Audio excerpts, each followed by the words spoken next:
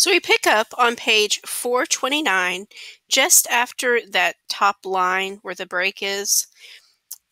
So Antinous urged, and we all and all agreed. The first man up was Leodes, Oenops' son, a seer who could see the futures of in the smoke, who always sat by the glowing wine bowl well back, the one man in the group who loathed their le- reckless ways, appalled by all their outrage. His turn first. Picking up the weapon now and the swift arrow, he stood at the threshold, poised to try the bow, but failed to bend it. As soon as he tugged the string, his hands went slack, his soft, uncalloused hands, and he called back to the suitors. Friends, I can't bend it. Take it, someone, try. Here is a bow to rob our best of life and breath, all of our best contenders. Still, better be dead than live on here, never winning the prize that tempts us all forever in pursuit, burning with expectation every day. If there's still a suitor here who hopes, who aches to marry Penelope, Odysseus's wife, just let him try the bow. He'll see the truth. He'll soon lay siege to another Argive woman, trailing her long robes, and shower her with gifts, and then our queen can marry the one who offers most, the man marked out by fate to be her husband.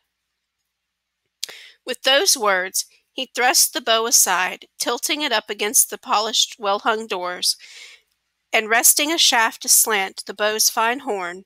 Then went then back he went to the seat he had left. But Antinous turned on the seer, abuses flying.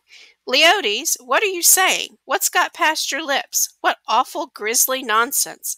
It shocks me to hear it. Here is a bow to rob our best of life and breath. Just because you can't string it, you're so weak?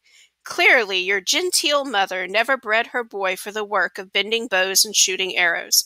We have champions in our ranks to string it quickly. Hop to it, Melanthius, he barked at the goatherd. Rake the fire up in the hall. Pull up a big stool. Heap it with fleece and fetch that hefty ball of lard from the stores inside. So we, young lords, can heat it and timber and limber the bow and rub it down with grease before we try again and finish off the contest. The goatherd bustled about to rake the fire, still going strong. He pulled up a big stool, heaped it with fleece, and fetched the hefty ball of lard from the stores inside. And the young men limbered the bow, rubbing it down with hot grease, then struggled to bend it back, but failed. No use. They fell far short of the strength the bow required. Antinous still held off, dashing Eurymachus too, the ringleaders of all the suitors, head and shoulders the strongest of the lot. But now the king's two men, the cowherd and the swineherd, had slipped out of the palace side by side, and great Odysseus left the house to join them. Once they were past the courtyard and the gates, he probed them, deftly, surely. Cowherd? Swineherd? What? Shall I blurt this out or keep it to myself? No, speak out. The heart inside me says so. How far would you go to fight beside Odysseus? Say he dropped like that from a clear blue sky and a god brought him back. Would you fight for the suitors or your king? Tell me how you feel inside your hearts. Father Zeus, the trusty cowherd shouted, bring my prayer to pass. Let the master come, some god guide him now. You'd see my power, my fighting arms in action. We're going to pause here and answer another question.